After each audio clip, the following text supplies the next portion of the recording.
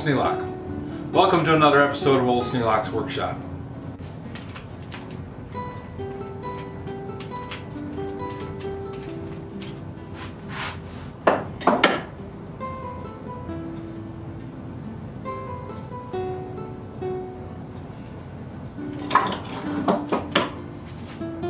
Just noticing something on this drill.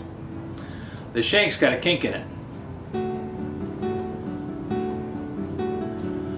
So I'm going to get out the piece of railroad iron and a hammer and I'm going to take that kink out. See a pretty good amount of daylight underneath that shank right about there between the, the shank and the blade.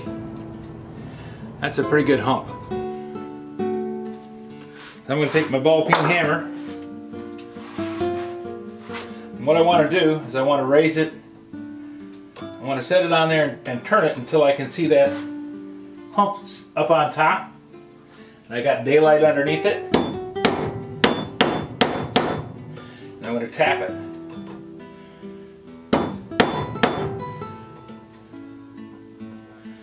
Now something else, if you listen as I'm tapping on it, when it's up in the air, it's a dead sound. When it goes down and hits the steel, it sounds solid again. So once you've hit the steel, there's no point hitting it any, anymore. You've got it as straight as you're going to get it.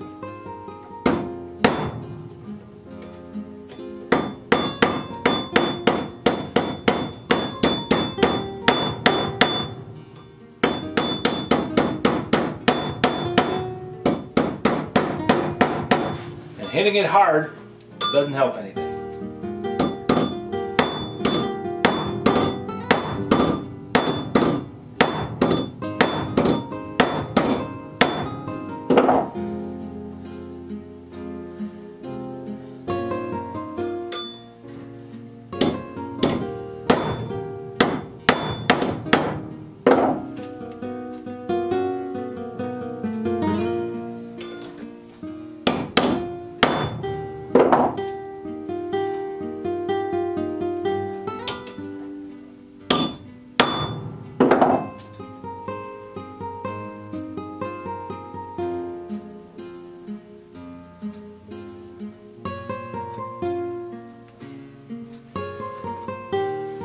What I'm doing is I'm just looking along the surface,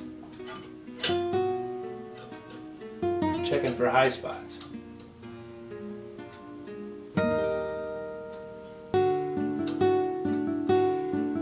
That's got it pretty straight. I got a little kink right here at the end.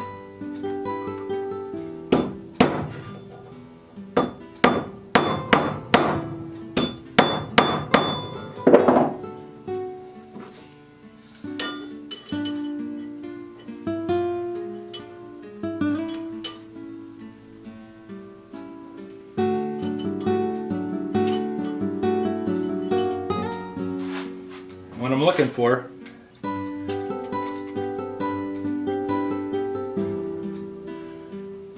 I hold the straight edge up against it and I see daylight on this side between the tip.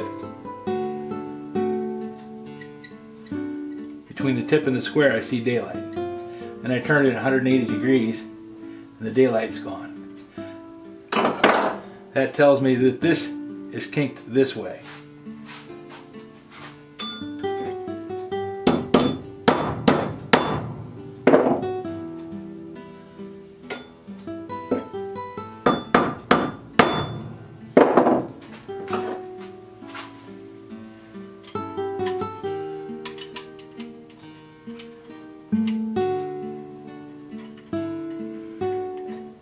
Now I can see that I'm touching on all four sides. So I've got the tang squared on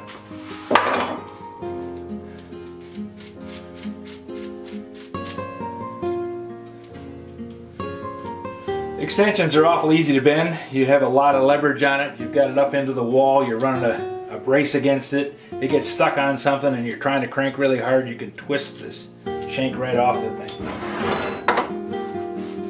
If you have any suggestions for a new video or questions about this video or any of the others on the channel, just drop a note in the comments below. You know I read them all. Thanks for watching.